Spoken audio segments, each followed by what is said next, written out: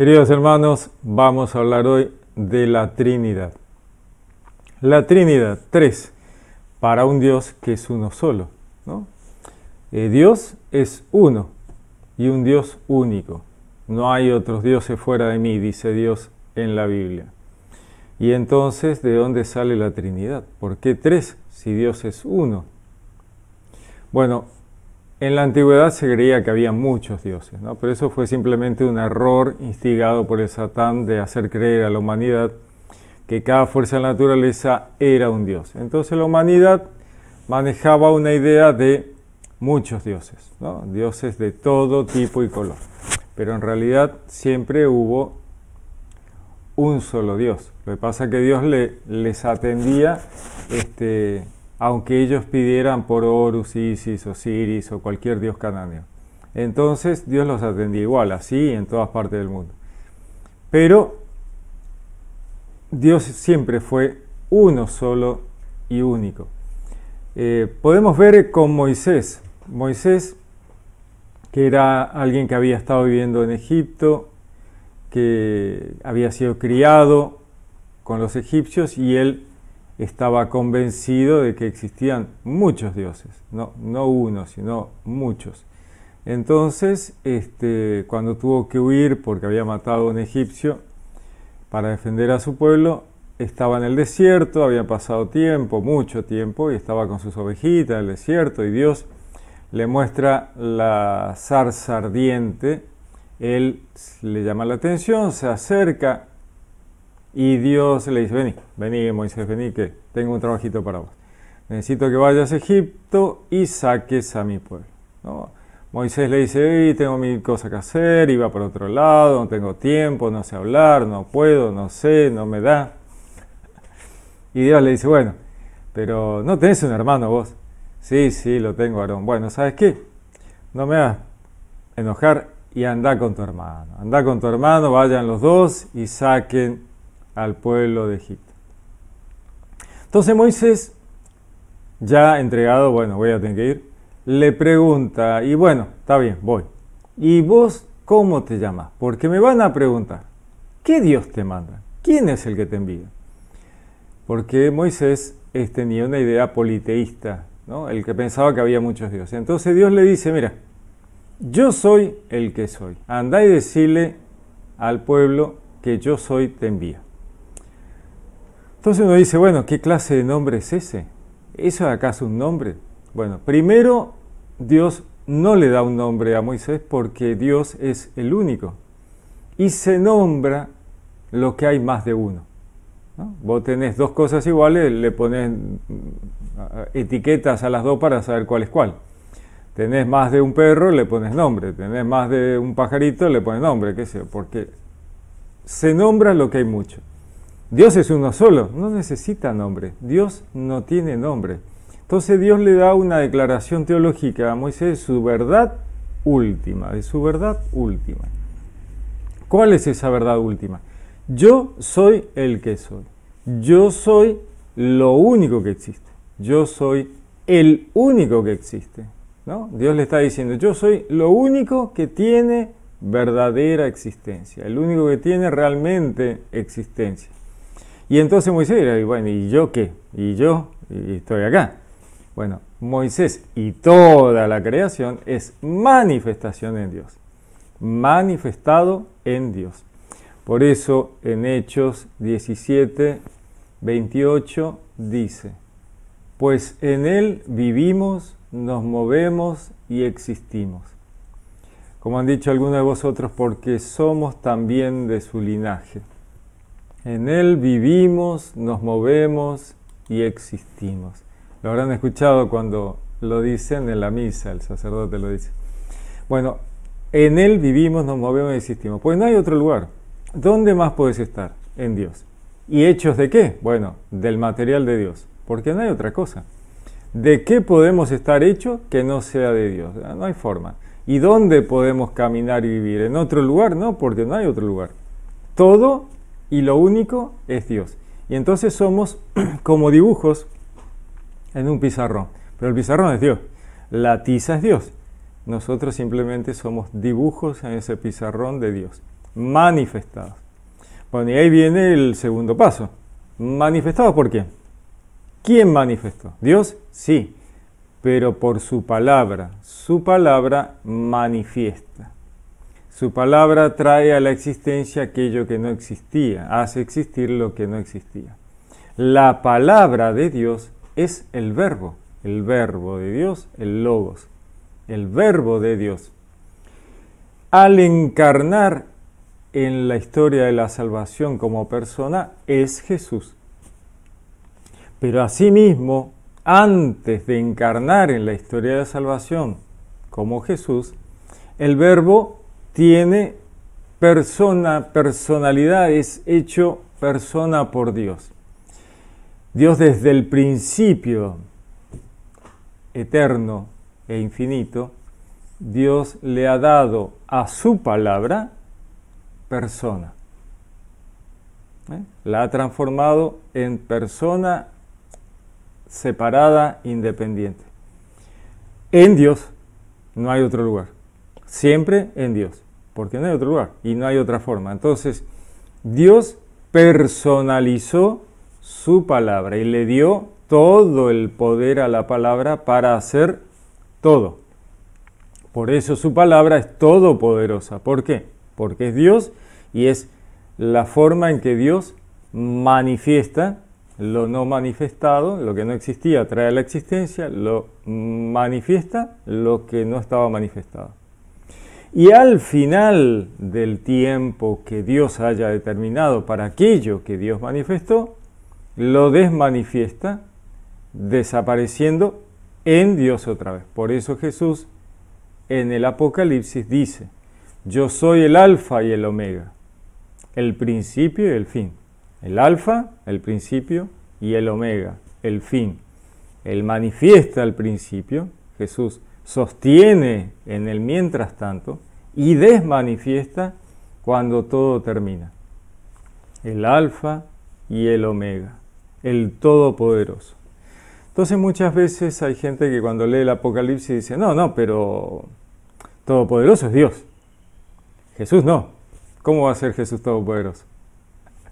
Jesús es el verbo de Dios encarnado. Y el verbo de Dios creó todo el universo. Y me animaría a decir los universos, porque Dios no se queda con una sola cosa, a Dios le gusta mucho. Así que probablemente haya muchos universos creados por Dios que no conocemos. Entonces es la creación, como nosotros siempre lo decimos, Dios creó los cielos y la tierra, en realidad en el hebreo es vara. Y vara es manifestar, manifestar por la palabra.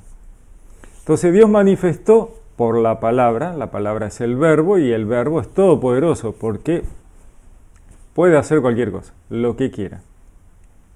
El verbo tiene libre albedrío.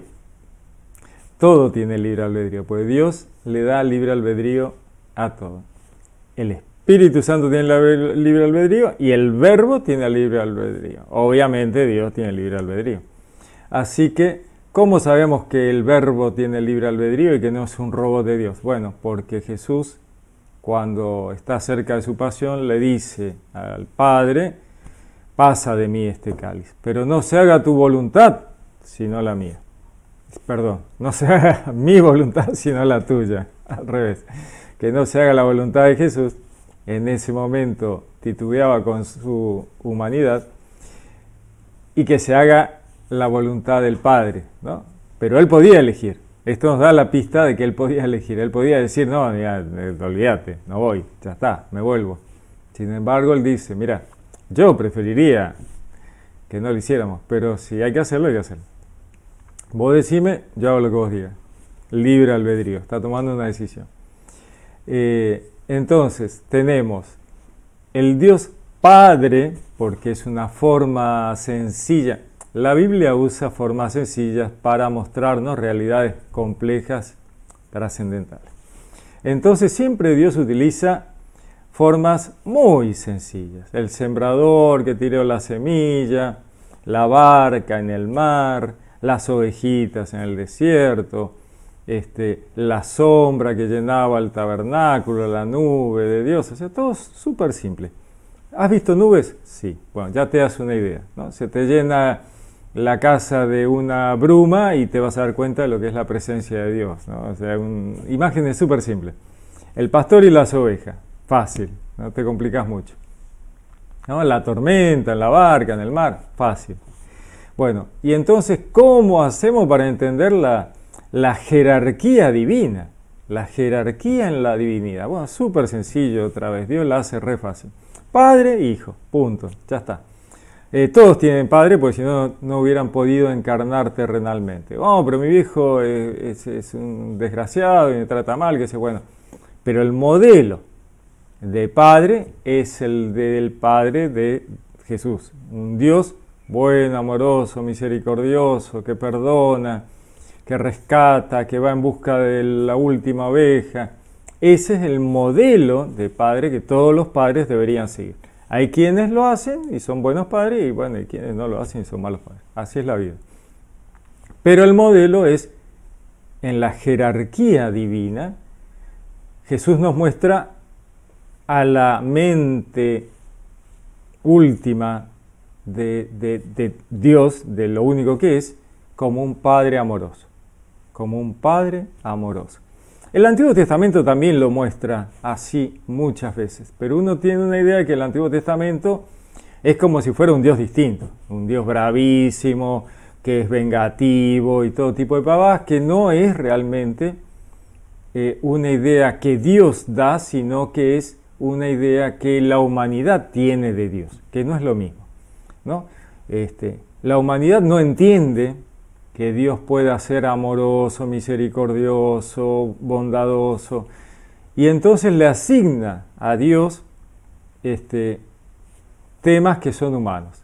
Venganza, tremendo, terrible, desastre, de una justicia vengativa mortal. Sin embargo, no es Dios realmente así, porque cuando Dios le dice a Moisés, mira, yo voy a pasar delante de ti para que vos veas mi bondad mi bondad va a pasar delante de ti. Lo mismo hace con Elías. Elías, Elías, ¿qué hiciste, Elías? Y los liquida a todos los sacerdotes de Baal, porque yo tenía celo por vos, yo te defiendo, como Pedro y Jesús. Eh, yo te defiendo, pero no, no voy a dejar que te pase nada. Y Dios le dice, Elías, Elías, ponete atrás de una piedra y yo voy a pasar delante tuyo, así vos me ves. Y entendés un poquito la macana que te mandaste. Así que pasa la tormenta y sale y la tormenta, mm, Dios no estaba en la tormenta. Y pasa el temblor y Dios no estaba en el temblor. Y pasa el susurro de la brisa suave. Y Elías sale a mirar y ve la espalda de Dios. Pasa el susurro de la brisa suave, la bondad de Dios. Dios está ahí, en el susurro de la brisa suave, en el amor, la misericordia, en el perdón el Dios del Antiguo Testamento. Como vemos, es un Dios amoroso, misericordioso. ¿Y dónde estaba el, Dios de los ejércitos? Bueno, en la, cabeza de los profetas, en la cabeza de los hebreos, que querían asustar al pueblo para que se pusieran las pilas. Eh, Dios a veces hace muestras de poder y, así, oh, voy a asustarlos un poco porque estos pibes son terribles. Señor los asusta un poco y no me dan arbolillas. Así que en el monte hay truenos, relámpagos y qué sé yo, trompetas que suenan. ¡No! ¡Wow! ¡Qué miedo! Asusta. Pero es para asustar un poco, para que se pongan un poquito las pilas, porque eran pibes bravísimos. ¿no? Los hebreos eran súper bravos. Ni hablar de los cananeos los egipcios, por favor no quisiera haber estado ahí ni 30 segundos. Bueno, el tema es que Dios, mente detrás de toda la creación, único y único y uno solo, personaliza su palabra. Entonces, ya es el Padre, ¿no? Que no es Padre, pero es una forma en que Jesús muestra de manera sencilla la jerarquía en la divinidad. Entonces le llama Padre. Súper, genial, súper fácil. Padre, Hijo. Él dice que es el Hijo de Dios. El ángel le dice a María, será llamado hijo de Dios. Será llamado hijo de Dios. Será llamado hijo de Dios. Entonces, ¿es el Padre? ¿Es el Hijo? Bueno, obviamente no, ¿no es cierto? Ni Dios es Padre, ni Jesús es Hijo. Jesús es el verbo por el cual el Padre manifiesta y el Padre es Dios absoluto, ¿no es cierto? Entonces Jesús es parte de Dios, ¿no es cierto? Como mi mano es parte de mí y mi voz es parte de mí. El verbo es parte de Dios, no hay forma, o sea, no hay forma de separarlos. Dios en su impresionante este, poder separa su palabra de sí mismo para personalizarla y transformarla en el verbo, ¿no es cierto? Y el verbo es el que manifiesta, es todopoderoso porque es Dios. Pero es una entidad separada dentro de lo único que es Dios. puede no ser tan sencillo. Entonces el verbo, el verbo, la palabra de Dios adquiere persona desde siempre, desde el infinito de la eternidad. No hubo un momento en que eso no existiera. Lo dice Juan. En el principio era la palabra, la palabra estaba vuelta hacia Dios, ¿no? como atendiendo este, lo que el Padre dijera, vuelta hacia Dios. Y el verbo era Dios, para terminar con toda duda. No, pero hay gente que dice, no, no, pero mi Biblia no dice era Dios, mi Biblia dice era un Dios. Bueno, está mal traducida, porque en el griego no dice un Dios, dice era Dios. ¿Y ese un de dónde sale? No, lo agregaron. Lo agregaron a una facción del, del, pseudo cristianismo, lo ha agregado en el 50, un poco antes, porque dicen, no, no, pero nosotros no estamos de acuerdo en que Dios sea uno solo y nosotros creemos que hay muchos dioses y entonces para, para que combine con nuestras creencias, este, hemos agregado un entre, ¿no? Un Dios. Entonces ellos dicen, no, no, bueno, nuestras Biblias son así porque nosotros estamos convencidos que es así. Bueno, pero la Biblia no dice eso. El original en griego dice, y la palabra era Dios, punto. No hay un, un entre medio. Eso es un agregado que no debería estar. Si alguna vez le leen una Biblia de Juan 1 y dice un Dios, sepan que lo han agregado. Eso no existe. Bueno, luego en esta misma línea de esta misma facción que le ha agregado un Dios a la Biblia, Dicen, bueno, pero en el Salmo 82 dice los dioses. Vamos a ver Salmo 82. ¿No? Salmo 82. Salmo de Asaf, Dios se levanta en la asamblea divina, en medio de los dioses juzga. ¿Hasta cuándo juzgaréis inicuamente y haréis acepción de los impíos? Juzgad en favor del débil y del huérfano, al humilde, al indigente, haced justicia. Al débil y al pobre liberad de la mano de los impíos arrancadle. No saben ni comprenden, caminan en tinieblas, todos los cimientos de la tierra vacilan.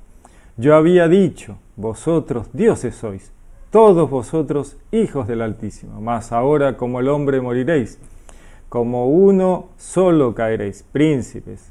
Álzate, oh Dios, juzga la tierra, pues tú eres el Señor de todas las naciones. Salmo 82. Y entonces, ¿en qué quedamos? Eh, Ahí habla de un montón de dioses. ¿Cómo que Dios es uno solo?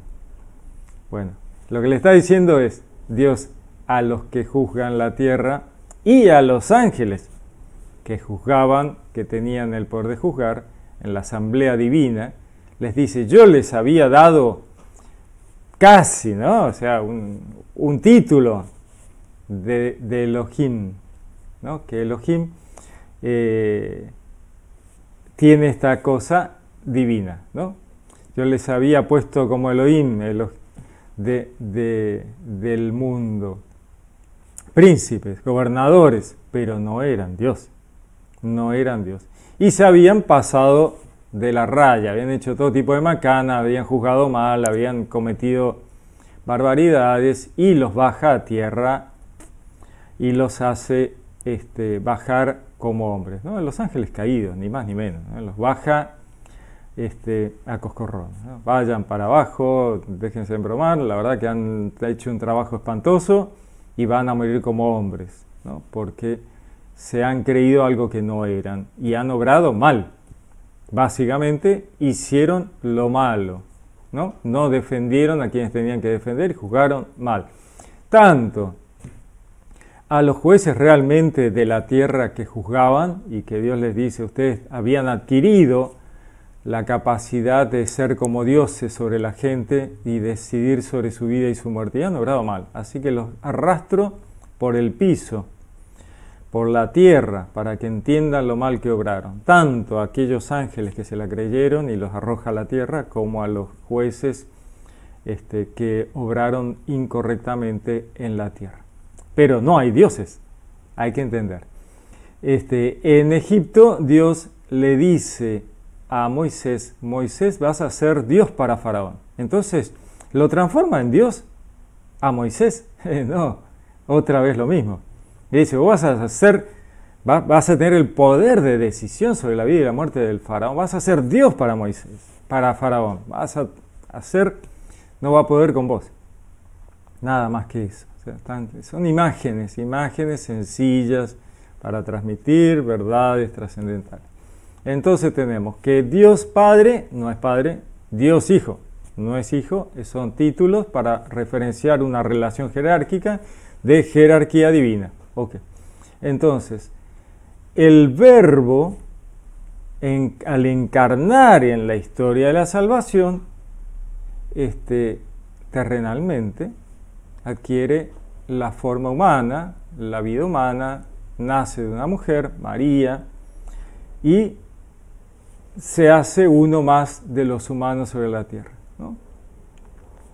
Para terminar todo su trabajo de salvación de la historia de la salvación, completar, rescatar a la humanidad, morir como persona sacrificada a Dios. El verbo encarnado. Mientras el verbo Jesús camina por Galilea con los chicos, les enseña, les da el pan, les da los pececitos, Mientras tanto, Jesús nunca dejó de ser el verbo, jamás, nunca dejó de ser el verbo. Mientras conversa con los chicos, está cuidando el universo y sosteniéndolo.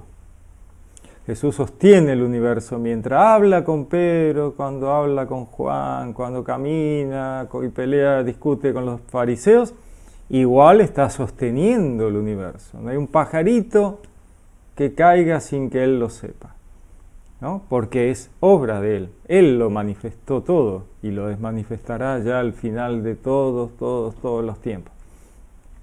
Entonces Jesús, ¿cuándo se entera que es Dios? ¿Cuándo lo bautizan? No, Jesús siempre supo que era Dios. ¿Cómo no iba a saberlo? ¿No? Va María a verla a Isabel y, y Juan el Bautista salta en el vientre de su madre porque sabe que el Señor ha venido a visitarla. María, e Isabel llena al Espíritu Santo, profetiza. Eh, ¿Por qué? Porque está delante de Dios. Eh, Dios estaba en Jesús en el vientre de María. ¿Y acaso ese chico no sabía que era Dios? Por favor, ¿cómo no va a saber Dios que es Dios? Dios siempre supo que era Dios, jamás dejó de saberlo.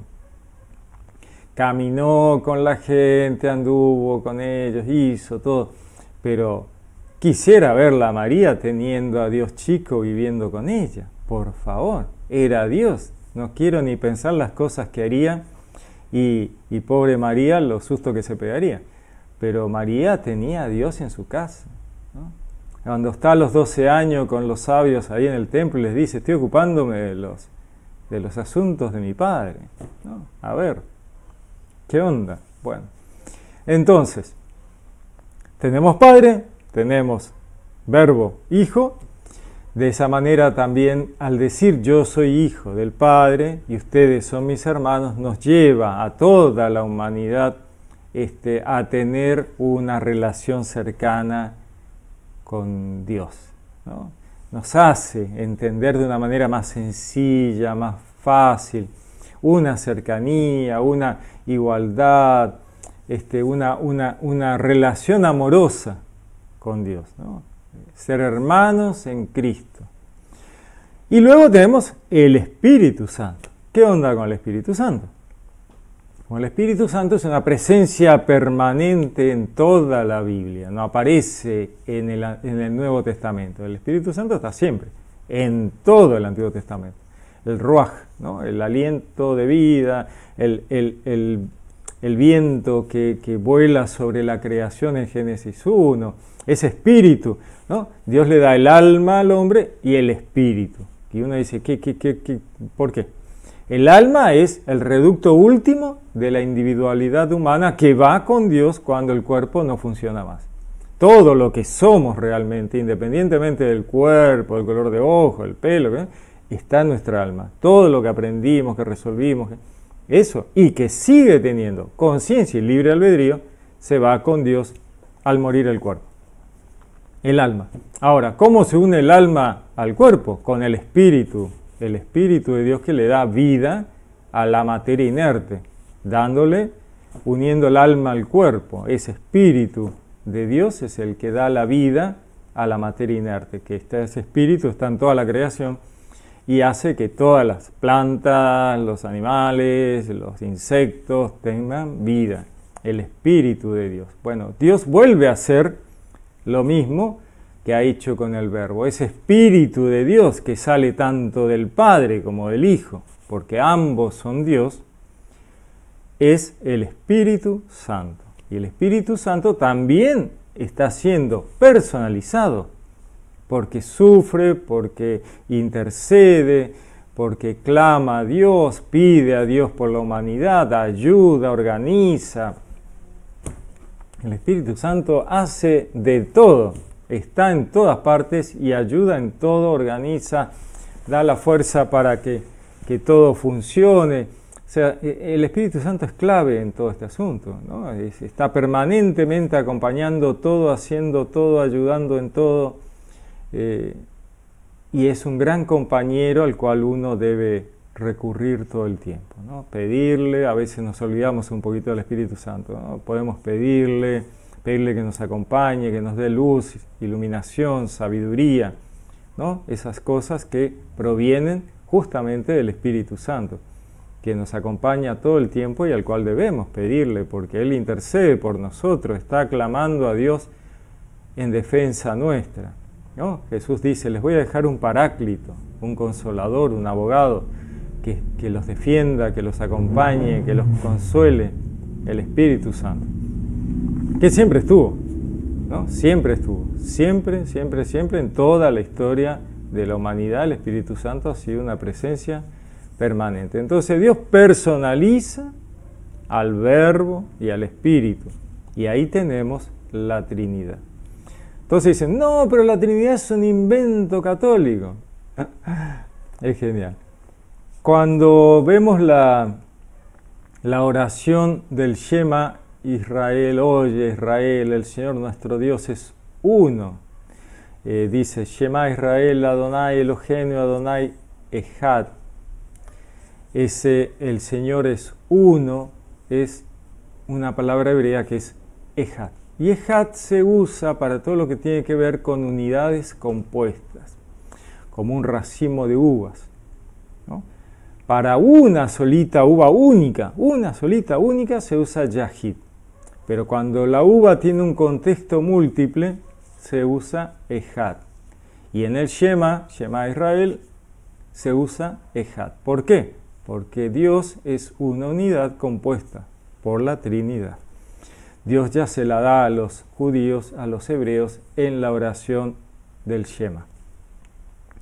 Pasa que aquellos que niegan la multiplicidad en Dios dicen, no, no, no, pero Ejad se usa para uno solo en un montón de lugares en la Biblia. No. Cada vez que uno en el texto hebreo de la Biblia encuentra la palabra Ejad, debe levantar la cabeza y mirar alrededor.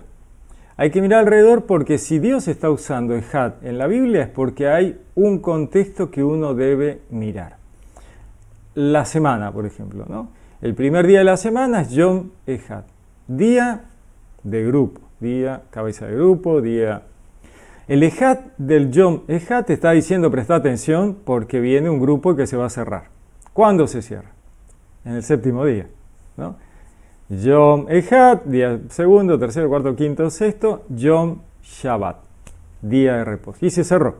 El Ejat se cierra. Está Moisés levantando los brazos en el combate y cada uno de los, hay dos que lo están sosteniendo los brazos. Estos, ahí otra vez dice, le levantaban cada uno, se usa ejat. ¿Por qué? Porque cada uno de los que levantaban los brazos a Moisés representan un grupo de las tribus hebreas. Y ahí es toda la, las tribus están sosteniendo esos brazos de Moisés levantados a Dios. Y Dios es el que les hace ganar la guerra. Sin Dios no hubieran ganado la guerra. Justamente, cada vez que se cansaban y bajaban los brazos de Moisés, perdían la guerra. Dice Edén, este, serán una sola carne, ¿no? hombre y mujer, una sola, eh, otra vez hat, otra vez se usa la palabra hat, porque una sola carne es referente a que los dos son uno, forman una unidad compuesta. Y así, este, Isaac este, va a uno de los montes, dice, ¿no? a uno de los montes. ¿Qué uno de los montes? ¿De qué? Bueno, uno de los montes que eran usados para los sacrificios humanos, al grupo de los montes donde se hacían los sacrificios humanos. Ahí está yendo Abraham con Isaac, a uno de los montes, ¿eh? montes Ejat. Otra vez debemos mirar el grupo al cual pertenece ese monte en particular donde Dios le estaba mandando a Abraham a sacrificar a Isaac. Obviamente no lo sacrificó, recordemos. Es uno de esos montes. El, grupo era los montes donde hacían los sacrificios humanos. Y así infinitas, este, cuando Jesús dice, yo y el Padre somos uno, y todos manotean una piedra para matarlo, para apedrearlo por blasfemo. Uno dice, bueno, paren chicos, ¿qué tanto? Eh? No es tan grave, dijo que de, él y, el Padre eran uno, no pasa nada. No, sí pasa, porque los judíos inmediatamente les sonó, recordemos que Jesús no hablaba griego, Jesús hablaba arameo o hebreo mientras dijo eso. Y cuando dijo eso, dijo Ejat. Yo y el Padre somos Ejat.